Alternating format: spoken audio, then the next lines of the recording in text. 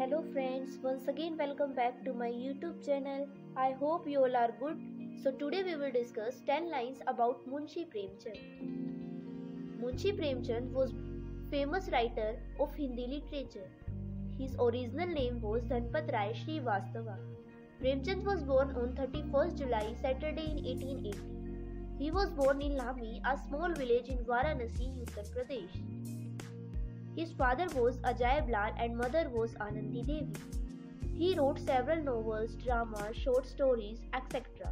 Some of his famous novels include Gaban, Godan, Mansarovar, Eidgah and Karam Bhumi. Premchand belongs to Kayastha family. Initially, his pen name was Nawab Rai, then he switched to Munshi Premchand. In remembrance of Munshi Premchand, Premchand Award has been given in the field of literature. He died on 8 October Thursday 1936 at the age of 56 due to long illness. Thank you for watching the video. Don't forget to like, share and subscribe. Thank you.